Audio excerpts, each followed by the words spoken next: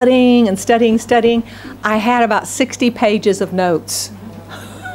and I looked at it and I started praying. I was like, oh Lord, please help me. And I finished up at about 12:15 last night, but I was really praying, God, please help me to simplify. Help me to simplify. Please help me to simplify. And that has been um, that has been one of my prayers. Uh, as I as I've been going through Acts a little bit, but take a quick look um, today that we're going to talk about be a Berean. And some of you are saying, What in the world are you talking about it? We'll talk about it this morning.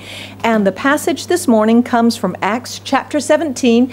The book of Acts, a lot of us know, but perhaps not all of us. The book of Acts is the history of the new church that began almost uh, about 2,000 years ago but it is not yet finished because you and I are writing that history today, right? And so this morning we're going to look at this part of the history. Um, and it's found in verses 10 through 34. So I give you a key verse, and then you've got your Google Map icon, and the two cities we're going to look at are Berea and Athens. Berea is still uh, is still a city today, but its name is now Veria, V-E-R-I-A, and it has a population of about 66,000. So it's still there today. Of course, Athens is still a city today, and Athens is larger now than it was at the time of Paul. Um, by Paul's time, the city had lost its glory, and there were only about 25,000 people living there.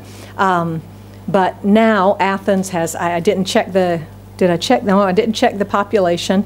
Uh, but Athens is the uh, is the capital of Greece, and it was named after its patron goddess, of course, Athena. Okay, that makes sense. Um, the city was filled with gods and temples and idols. There were apparently about 30,000 different gods that were worshipped in Athens. That's a bunch of gods, I'm telling you. Um, and then we're going to just briefly meet two people. There's a word for you and some things to look ahead. So there's that. And then if you want to turn to the back page, uh, that's where you'll take some of your notes. This morning, I'm going to move this out of the way as we as we go into our message. Hang on just a minute. I don't know, you may have to cut some of this as we get started. Okay, here we go. So we've taken a quick look at the handout. Um, the last stop uh, for Paul and company, when we left them a few weeks ago, the last stop was Thessalonica. Remember, we said Thessalonica is still a city today. Now it's called Thessaloniki. And um, while Paul was in Thessalonica, there was a response to the gospel um, there was a very good response from the Greeks. There wasn't a very good response from the Jews in Thessalonica, and we'll talk about this. Uh, we'll talk about that this morning. But the Jews, very soon, that didn't follow Paul, stirred up trouble and formed a mob. I want to ask you this morning. We didn't talk about this last time. If you go back and read uh, in Acts, uh, you'll you'll see it. But I, my question to you this morning is this What stirred up the crowd in Thessalonica to form the mob against Paul? Now, what they said was, these men that have turned the world upside down have come here and they're messing us up too. If you'll remember Paul in his younger life, when he was Saul, Paul himself had zealously opposed Christians, hadn't he? He had persecuted them, he had sent some to their deaths, and he was sincere, but he was misguided. Is that why these Jews are rising up against Paul? Because of the message? No. The reason they rise up against Paul is pure jealousy. Paul has more people following him than they do, and they rise up in jealousy.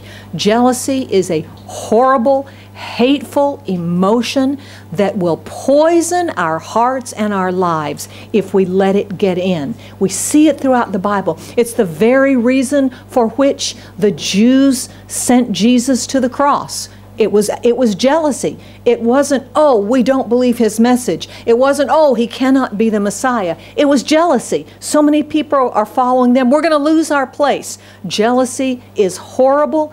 Anywhere it is found, it's especially horrible in the hearts and the lives of Christians. Amen? Amen. Um, if you'll pass a pass a handout to to uh, Alice as well. There we go, and, and scriptures if scriptures if she'd like. And so the crowd it rises up. There's a mob, and they immediately send Paul and company out of out of the city. So where do they go? They're here in Thessalonica, and immediately that night, that very night, they're going to send Paul to the next city on the way. Actually, it's a little bit further that way than there, but I had to make the map, and I I'm not a great cartographer. I think that's the word for map making. Um, so, but I'm doing my best. And so they send him away to Berea, and uh, they go that night, and they travel along. For those of you that are interested in history and things like that, if you're not, so sorry, bear with me. Okay? So they travel down to Berea. Berea's not very far away, and they travel along something, a roadway that's called the Egnatian Way and it was a military road that Rome had built so that its armies could travel quickly through the empire um, and quickly take care of any trouble or anything like that. And so Paul and, and his companions would have traveled along the Egnatian Way, at least part of the way.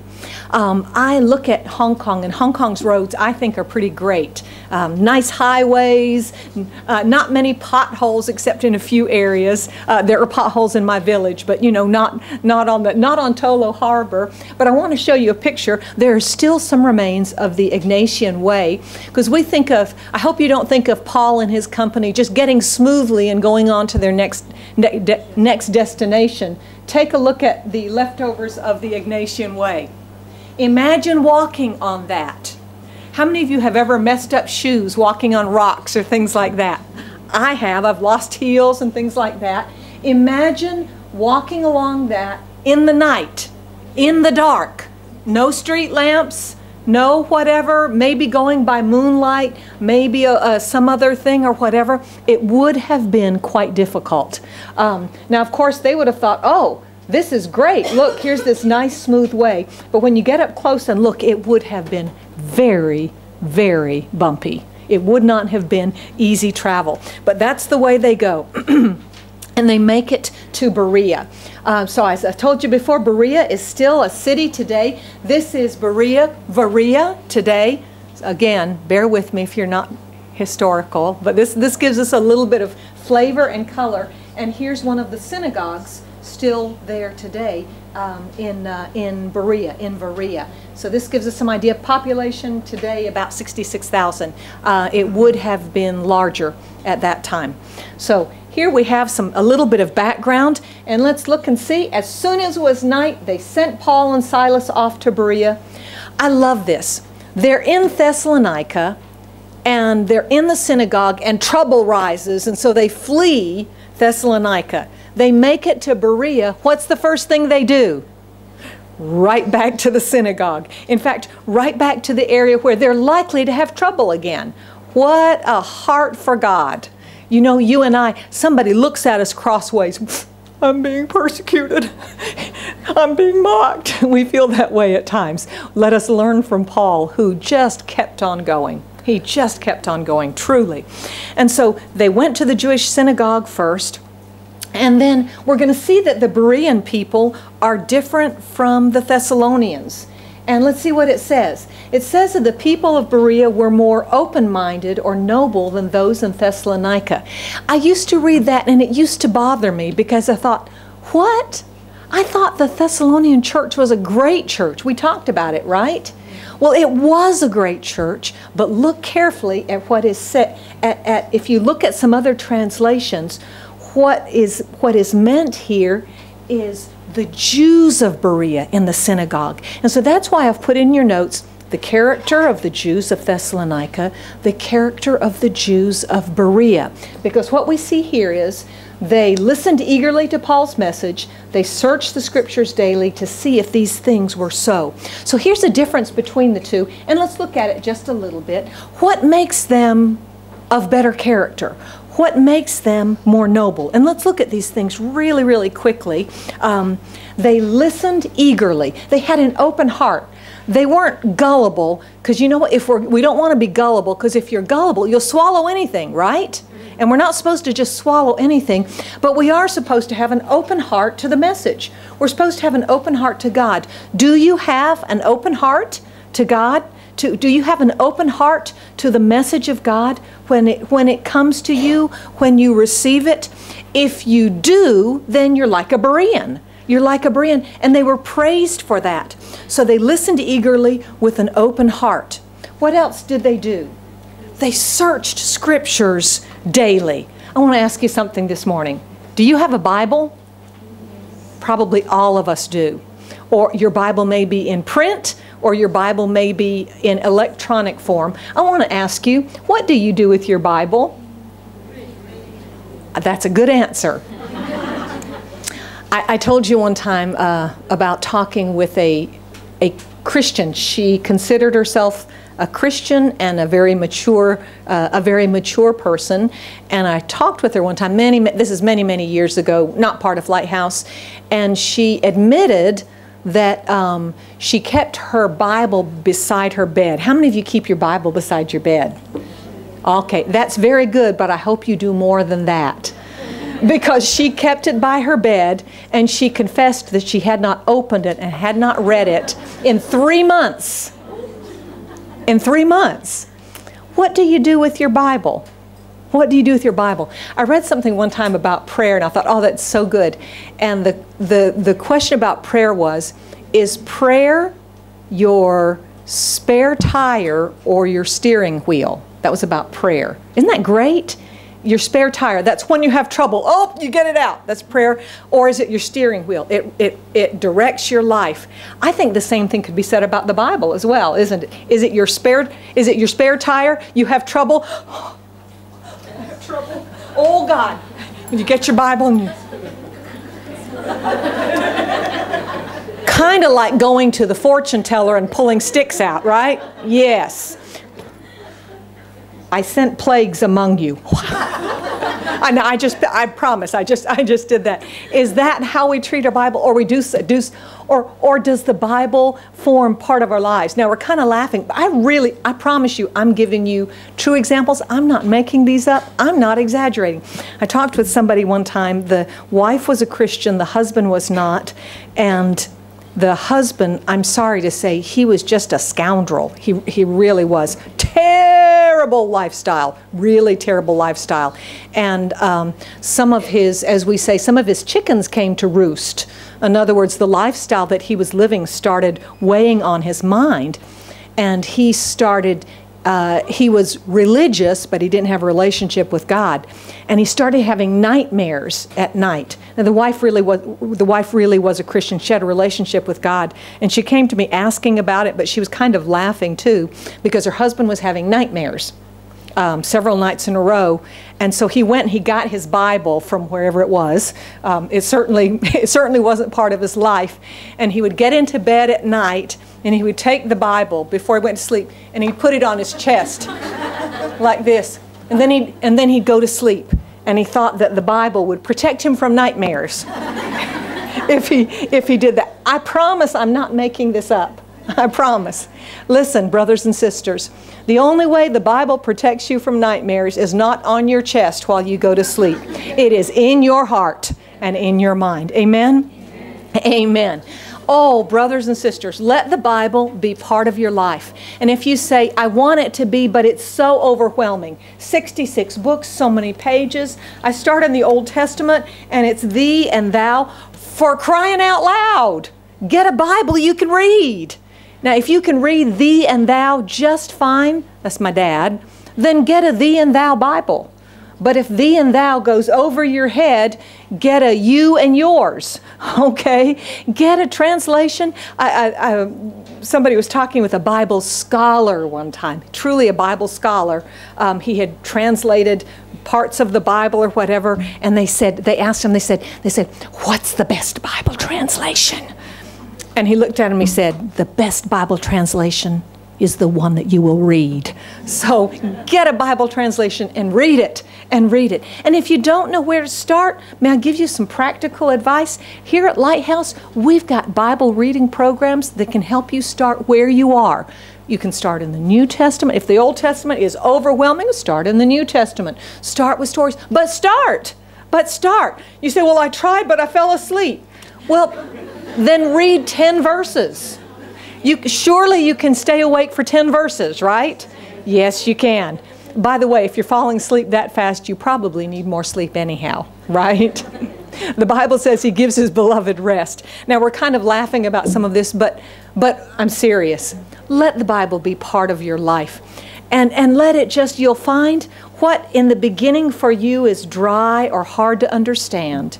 If you will start taking it into your life, you know what I promise you will happen?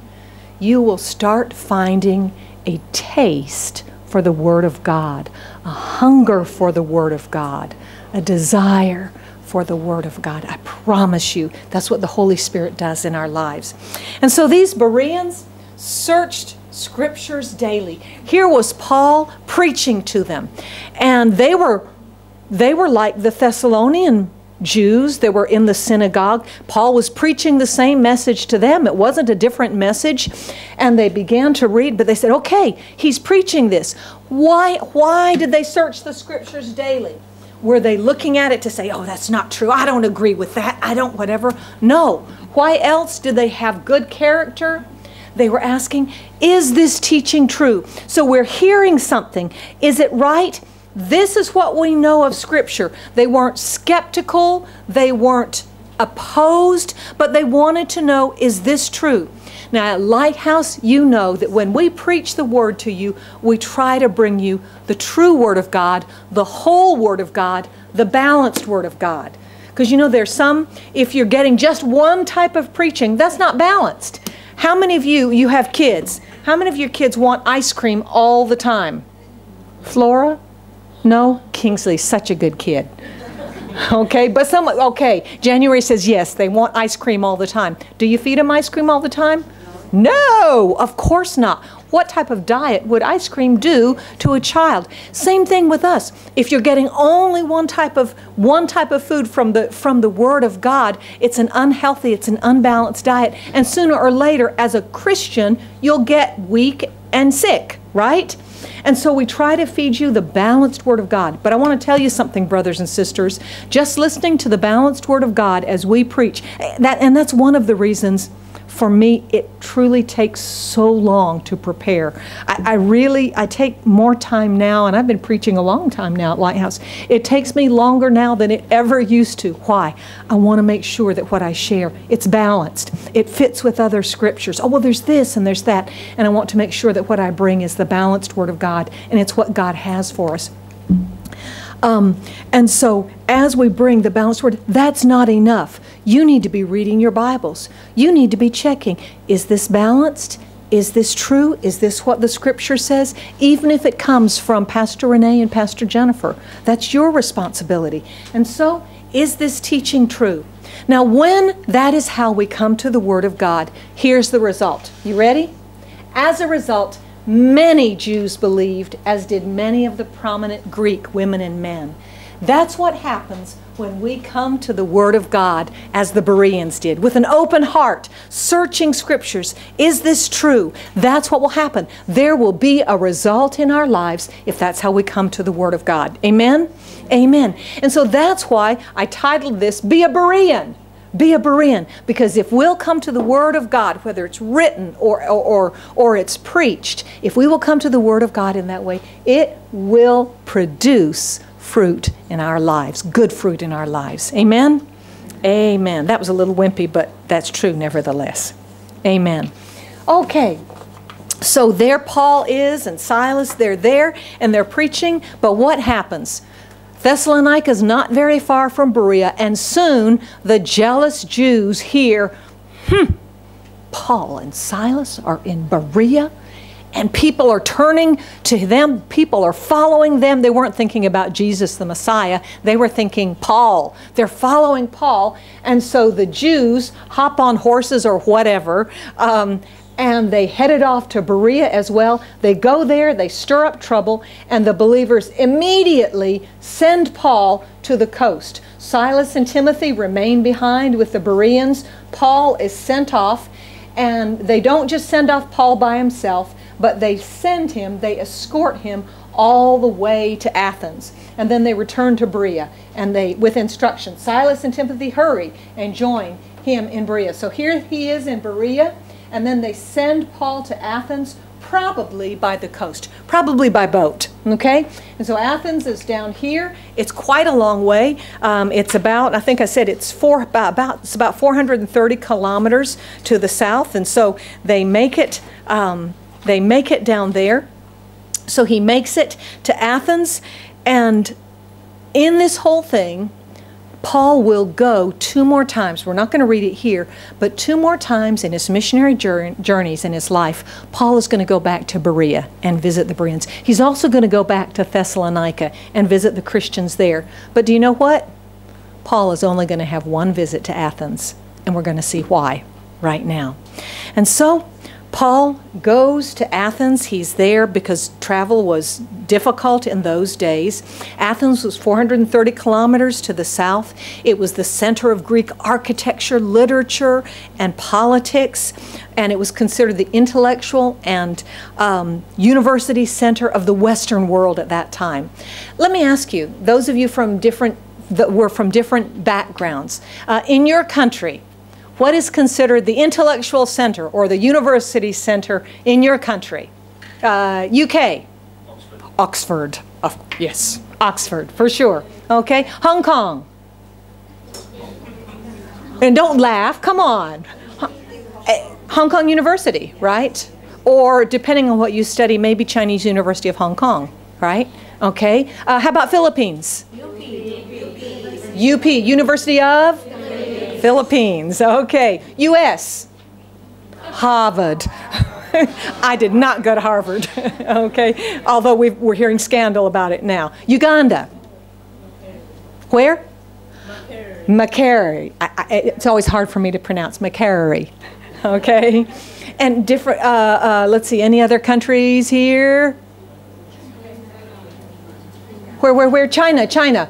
Beida, Peking University, where I was. Okay, we would say that. And, and other, uh, Canada, Canada. We've got some Canadians here. Okay, Alistair? He goes, ah. to, oh, a little pride there, too many to choose. okay, okay.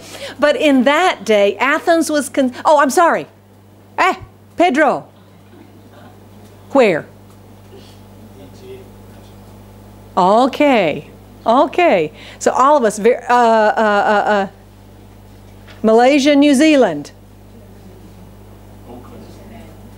Auckland. Okay. Suyan? Malaysia. Malaysia. Ah, University of Malaysia, right? Malaya. Oh, that's right. The old word, University of Malaya. Okay, so all of these various, but for, but if I missed you, I'm sorry. Your country's smart too. okay, we'll keep on going. Okay. Uh, Togo, Togo, sorry. Lome. Lome, okay. And where's, oh, he's upstairs. okay. And so, but for them, Athens was not just the center of Macedonia, it was the cultural and it was the university and the learning center of the Western world at that time. It was the center. And this is where Paul finds himself. So let's take a look. Um, Paul is there. He's waiting for them in Athens. Uh, Paul and uh, uh, Silas and Timothy and the others are going to join him. Let me ask you something 25,000 people in Athens.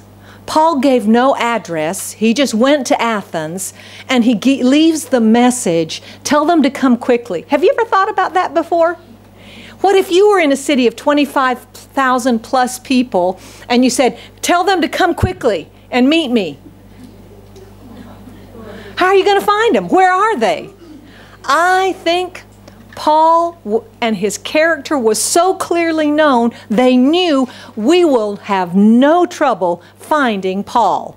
He will be making a name for himself and for Jesus wherever he is. We can go to the marketplace or the synagogue and we'll say, We're looking for a rabbi, a traveling rabbi. His name is Paul and he's from Tarsus. Have you do you have you heard of him? They go, "Oh yeah, yeah, yeah. I know this guy. I know this guy." And you may not have thought of that before, but that's Paul's nature and that's Paul's character.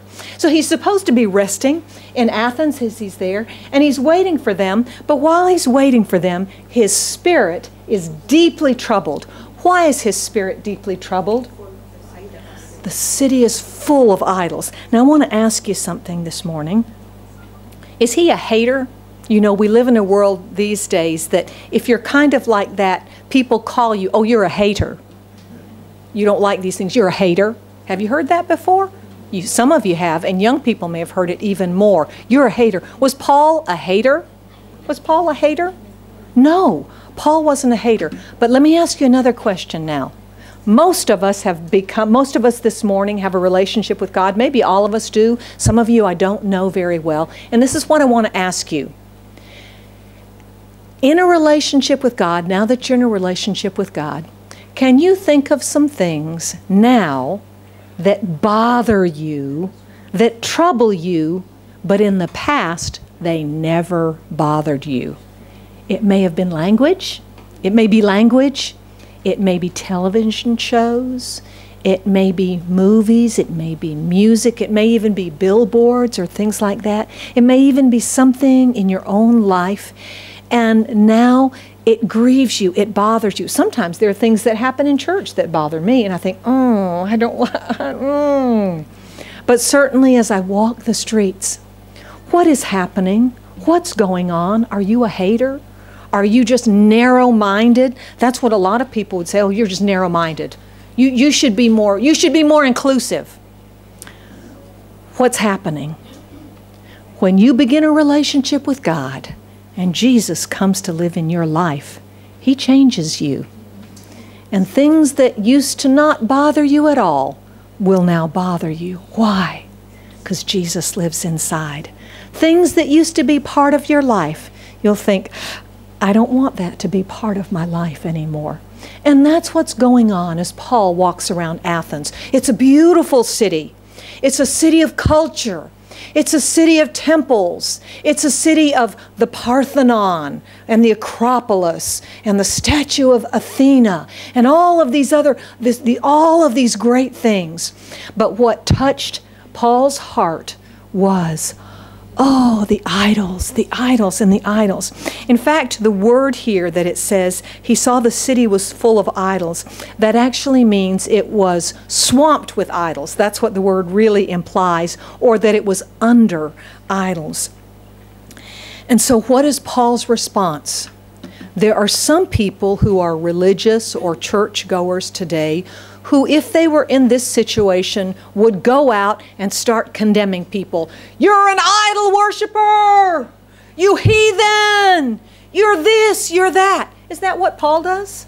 Is that what Paul does? No, because they're already condemned. So, may I say something to you when you come across people who are situations that are messed up and degraded and this and that? If they are, if that's how it is, they're already condemned. They're already in the dark. They're already in sadness and in brokenness. There's no need to add to it. Add something good instead. Why not bring Jesus? Why not bring Jesus? And so, what does Paul do? He doesn't say, You bunch of heathens, you're going to hell. No, although they are going to hell. They are going to. What does he do instead? First of all, he goes to the synagogue. And in the synagogue, what does he do? He starts speaking about Jesus. He starts speaking about Jesus. He goes to the marketplace, and I got some pictures here, and you say that doesn't look like any marketplace in Hong Kong. This was a Greek marketplace, okay? It doesn't look like any marketplace in the Philippines, but this was called the Agora, A G O R A, and it was the it was the name for a marketplace. And these this is Athens, and these are the remains of the marketplace, the Agora in Paul's time. So, what you see here, Paul, to me, it's pretty exciting. You say, Oh, you're doing a lot of history this morning, Pastor Jen. I, I think it's pretty interesting. It helps us to see what was going on. Paul himself would have walked, he might have sat on some of these stones. He would have, perhaps here, he would have raised his voice and he would have said, I want to tell you about Jesus and the resurrection. What does Jesus mean? The word Jesus means Savior or Deliverer. In the Old Testament, it's Joshua, but he would have used the word Jesus. And that's good news because people need saving. That's good news because people need delivering. Some of you have heard the word Jesus and you've heard the message of Jesus. It's good news. And he saves us and he delivers us. And you can imagine, Paul's voice was raised here as he, as, as he talked about Jesus. Along this area, they would have been selling fish. They would have been selling vegetables. They would have been selling clothing. But the greatest commodity, the greatest commodity of the marketplace was not fish and vegetables. The greatest commodity of the, of the marketplace of Athens was ideas. It was ideas. That's where the philosophers sat. And they sat, you can't see all of it, but take a, here's, here's one example. I think this one perhaps has been rebuilt. But here you see another example. See these? At one time, these would have been columns that would have gone up, and it would have been a colonnade. And the philosophers would sit down there, and they'd talk all about ideas. And they'd talk about Plato. And they'd talk about Aristotle. And they'd speculate about this. And they'd what about that? And oh, they would have lengthy discussions. And you say, Oh, Pastor Jennifer, you're making that up. No, I'm not. Let's see what the Bible says. And so Paul is in the marketplace, and the Epicurean and Stoic philosophers, by the way, this is what I got bogged down in. I was going to present. Now, the Epicureans believe this, and the Stoics believe this. I'm not going to get into all of that. But what I'm going to tell you is they believe things that don't lead us very far. The Epicureans loved luxury and life and pleasure and the best foods because tomorrow we die. That's where that expression came from. Eat, drink, and be merry because tomorrow we die. That's what the Epicureans said. You know what the Stoics said? Doesn't, doesn't that sound like what a lot of people are doing today? Yes. Sure does. Sure does. You know what the Stoics said? This is in a nutshell. I won't give you the 50 pages. There's much, much more, and some of you are way smarter than I am. You know more about this than I do. The basic Stoic philosophy was um, our lives are fate. We can't do anything about it. This is the way it is. And the best thing we can do is just to accept it and just live the best you can. And when you can't accept it anymore and live in a good way, just commit suicide, and that's okay. that's acceptable. You're laughing. I'm serious. Now, I'm, I'm simplifying, but that's what it was, really. That's really. Now, this acceptance, this Stoic just saying, okay, I have to accept it, does that sound like anything? If you have a background in Buddhism, that sounds a lot like Buddhism, doesn't it? You just you you just accept. And it sounds a lot like some of the things in Islam as well. There's part of that as well, and you just accept. So when Paul gets up and he starts preaching about Jesus and the re- resurrection, it stirs the pot with these, with these philosophers. What does this babbler wish to say? Oh, now when they said babbler, have you ever been offended when you tried to share Jesus with somebody and they mocked you or they laughed at you? We get our feelings hurt, don't we? Because we're human and we're people. They mocked Paul, and Paul was not a stupid guy. Paul was highly educated. But when they said babbler, do you know what that word means? That that word means a seed picker, like a little sparrow picking up seeds. And what it meant was, oh, he's some pseudo intellectual and he goes around picking up ideas from everybody else, but he doesn't have his own ideas. That's what it really meant. It was very insulting and it was very mocking. But I am so encouraged. I'm learning a lot from Paul as we're studying him. Because sometimes when people laugh at me or make fun of me, I get offended because I don't want to be laughed at. Do you like being laughed at? No. Me either. But you know what Paul does? He just keeps on going. He doesn't get personally offended. Why? It's not about him, it's about Jesus. It's about it truly. Amen. Amen. And so he keeps on going. And he says, Oh, he's preaching Jesus and the resurrection. They were so mixed up and they had heard nothing about Jesus that when it says Jesus and the resurrection, this word is anastasis. We sing a song here at Lighthouse called Anastasis, don't we? What is the song? Oh, praise the name of the Lord our God. Oh, praise his name forevermore. That song is the name of it is, is Anastasis. But do you know what they thought? They thought, well, here's this Jesus person and some female goddess named Anastasis. Named, they thought resurrection was a female god which sounds kind of funny, but I was thinking about that, and I was thinking about something that happened many years ago when I was, still have time, great, when I was in China, and when I was teaching at Peking University. And the Lord brought this back to mind because Athens was this center of learning. Sister Betty and I were teaching a, a scientist in nuclear fusion, cold, cold fusion, or, or, or I don't remember all the details now. Dr. Lee was her name. Incredibly intelligent, incredibly educated. And she was in one of our classes. This was way back, this was in the 80s in, in China. And I remember Sister Betty talked to her about Jesus. Do you know what question she asked when Betty talked with her about Jesus? She looked at Betty it was, this was after June 4th, 1989, and we had gone back to the school, and Betty was sharing about Jesus with her. And Dr. Lee, that was her name, looked at Betty and she said, Jesus? What is Jesus?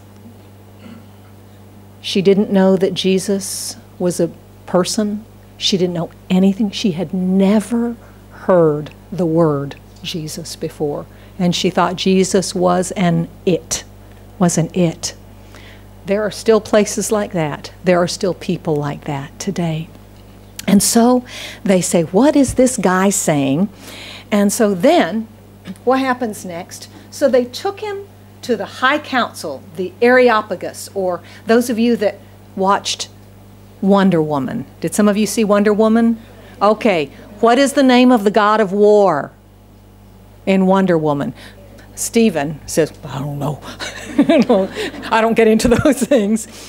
His name was Ares, the god of war. Okay, so Areopagus, there's that first part of the word, and it's the hill of the god of the war, a god of war, Areopagus. And so they took him there because that's where the council met. And they said, Hey, come and tell us about this teaching it sounds strange and we want to know what these ideas mean. Now, look with me at verse 21. Ready? Because you said, some of you said, hey, I don't know about that. Okay, look at, look at what, what it says. It says it should be explained that all the Athenians, as well as the foreigners of Athens, seem to spend all their time telling or hearing something new. That's why the hot commodity of the marketplace was ideas. It was chit chat. It was chica chica. It was, those of you that say, what? That, that's, that's a Tagalog word. It was talk. It was, it was this and that, throwing around ideas. And I want to say something as we look at this.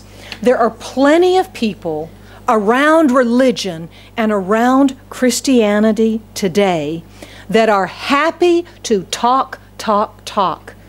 But may I say something to you this morning? Talk is not enough. There has to be action. There has to be action, or else we're just like the Athenians. And all, oh, let's talk. Here's this guy, Paul. He's telling us something new. Now, we're going to get into the meat of it. It's taken us a little while to get there, but let's see what, what so they bring him there. And so Paul stands before the council, and this is what he says Men of Athens, please don't say, well, he is, he is a, uh, he's a misogynist. What about the women of Athens? I'm so sorry, the council was made up of men. So he says, men of Athens, okay? And he says, men of Athens, I notice that you are very religious in every way. Now, why have I got this strange picture here? I've got it here because this is the Areopagus. This is Mars Hill. And this is where Paul would have stood. There would have been rough seats that were cut, and you can still see some of it today. This is Mars Hill. And he says, Men of Athens, I notice you're very religious in every way. You're religious in every way. We're going to talk about that. Um, what was right behind, here's Athens down below.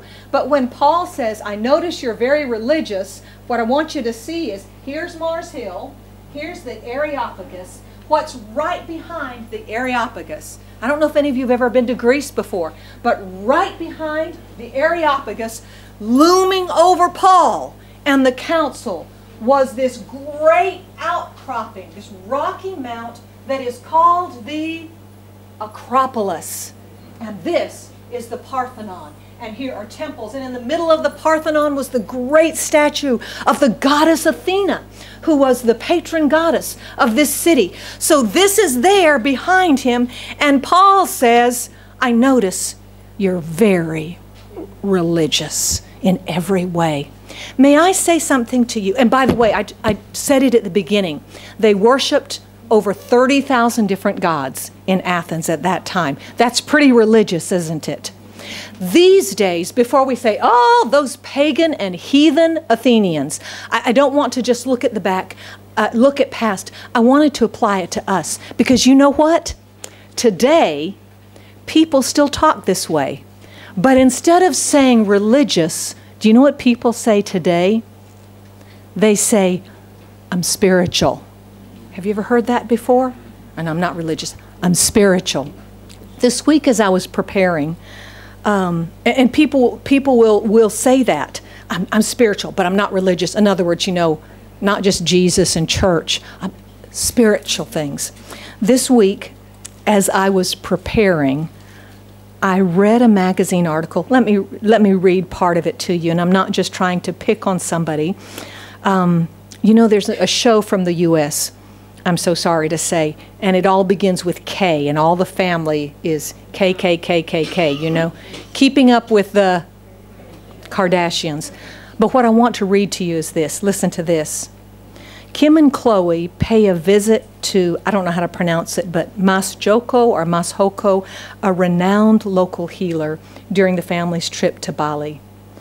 Kim, uh, Khloe explained, Mas Joko has come so highly recommended. People from the U.S. fly to Bali to see this man. And Kim added, I love connecting with the spirit world. I believe in everything. Isn't that? At first, I laughed at the ridiculousness, and then I was so sad because this describes, I don't know about your country, but this pretty much describes America today. Well, I'm not religious, I'm spiritual. I believe in everything.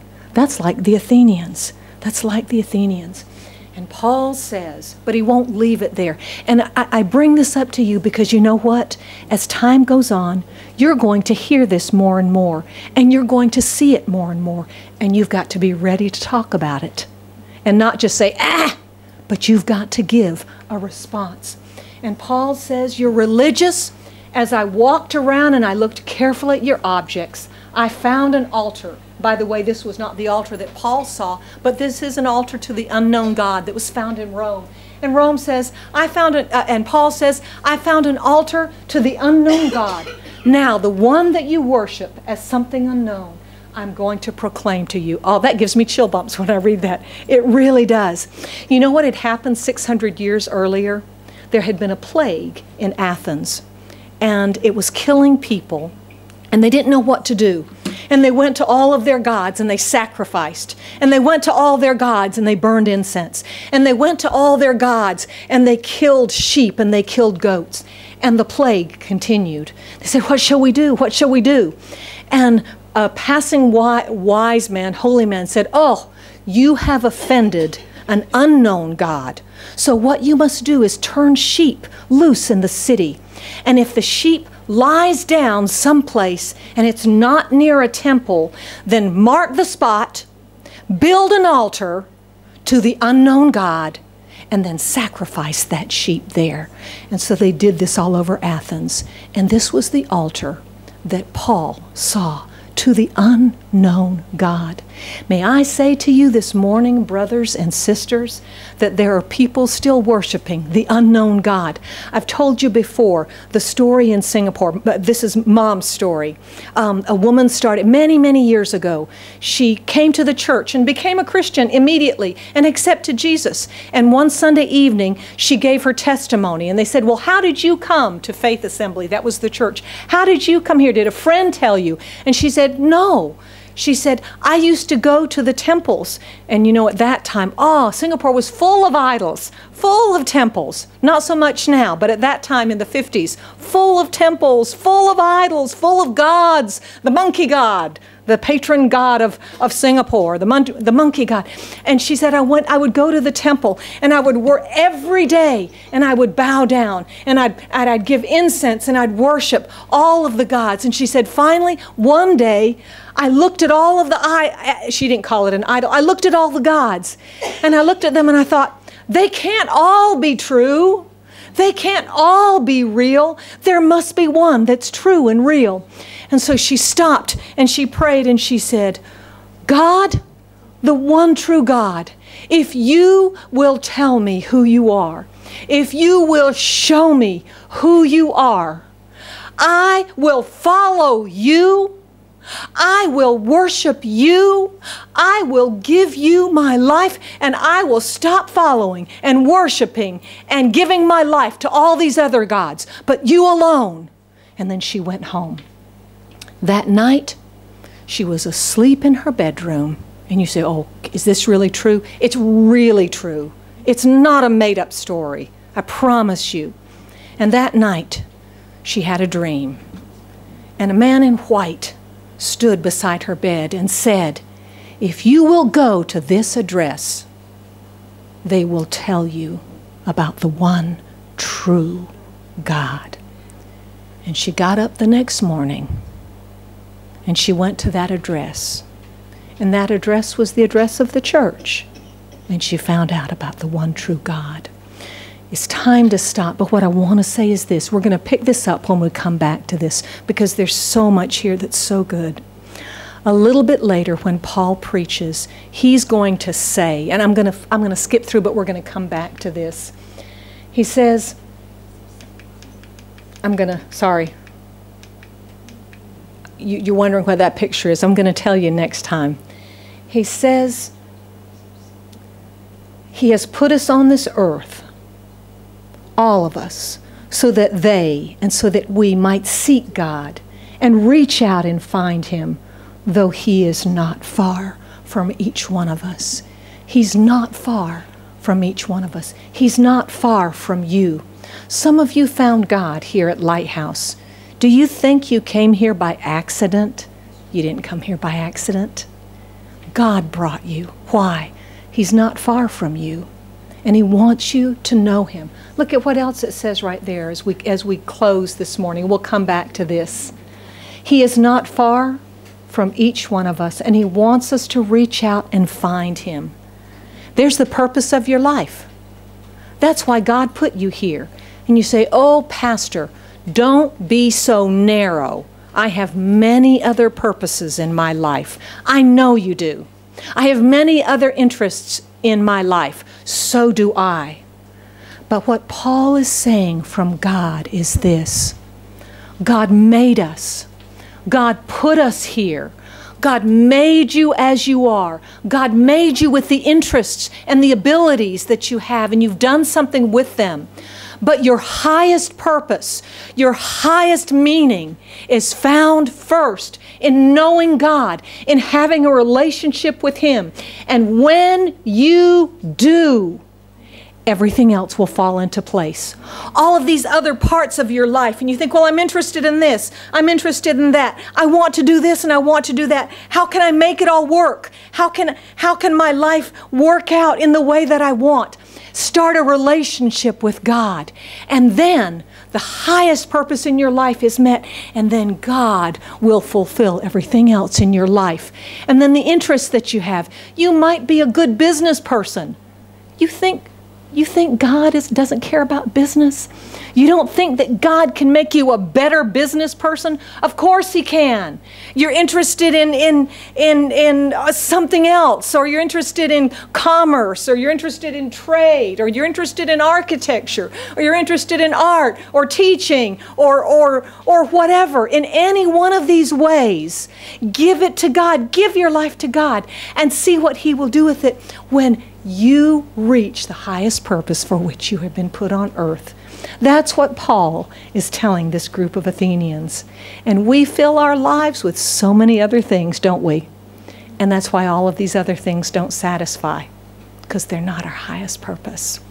But God is not far from each one of us. And so we're going to pray this morning. We're just going to come to a close.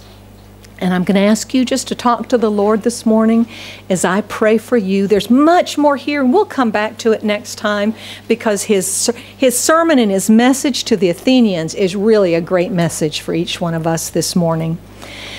Lord, we come to you this morning, and God, we thank you that you included this in the Bible.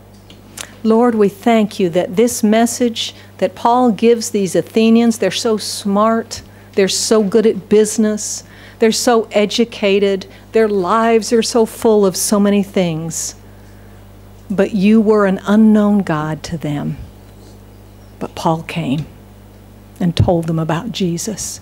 Lord, just as we have learned about Jesus, just as we have found out you're not far away from us, just as we have found out there's a purpose for our lives, our lives aren't aimless, that we live here a few years on this earth and then we're gone and that's it. But oh God, in your great love for us, because you made us in your image and because you set your love upon us, there is a purpose for our lives. There is meaning for our lives. There is direction for our lives. And you gave us Jesus that we might know you not far away, but Jesus who came to, uh, to us. We don't have to go off searching for you. You came to us in Jesus. And we're so grateful and we're so thankful that you have done that, that you are not far from us, that you love us, that you give us meaning and purpose. Thank you, Lord. Renew our hearts in you May our hearts be soft before you. Lord, just as Paul was grieved by all those idols he saw, Lord, if our hearts have grown hard or calloused at some things, would you renew our hearts and give us soft hearts again? Hearts like yours, of love, not hate, not hating, but Lord, hearts of love for you and for others. In Jesus' name we pray. Amen. Amen. Amen. God